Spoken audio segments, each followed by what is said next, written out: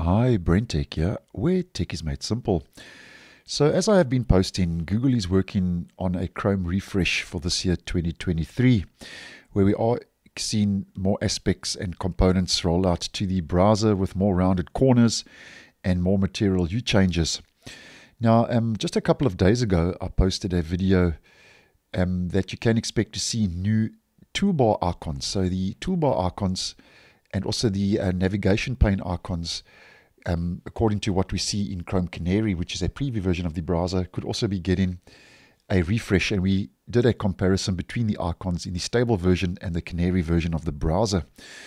Now, I thought just a quick update on that because over the last day or so, um, when it comes to Chrome Canary, which is a preview version of the browser, I've noticed a couple of changes once again um, that Google is testing in Chrome Canary with uh, changes when it comes to different uh, toolbar icons and address bar icons.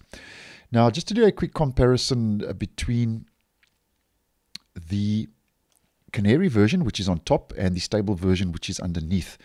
Now, if we have a look at the actual share this page icon, we can see that this is how it currently looks uh, in Canary. Now, I hope you can see this properly in the video, but I will zoom in um, shortly.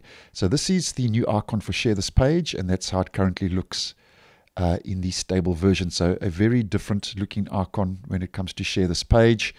And this one looks a little bit more minimal and kind of Material You uh, when it comes to the current one found uh, in the stable version.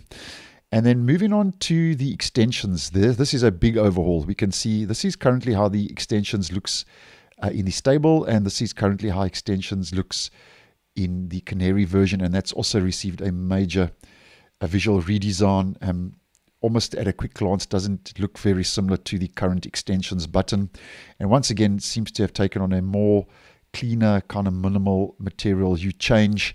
And yeah, in Chrome Canary, the beaker icon it's not available in the stable version by default um, because you have to enable a flag. But in Chrome Canary, you get this beaker icon, which lets you see different experiments. Even this has taken on a visual redesign where this used to be a lot um, more kind of bulky and was a solid beaker, like a science beaker.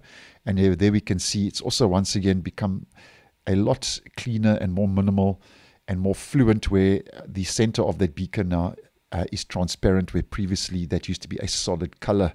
So those are just a couple of the changes. And if we just zoom in here so you can just see it a lot better for the purpose of this video. Uh, there we go. So the share this menu compared uh, to the stable version, very uh, different looking um, when it comes to a more minimal look uh, in the address bar there.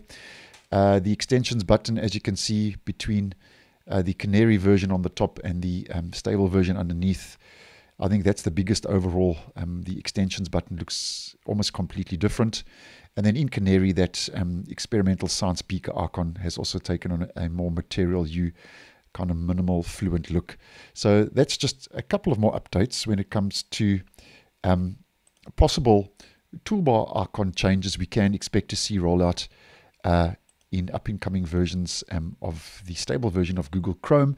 And if anything does change in this regard and any more features do become available regarding the Chrome refresh for 2023, I'll obviously post and let you know. So thanks for watching, and I will see you in the next one.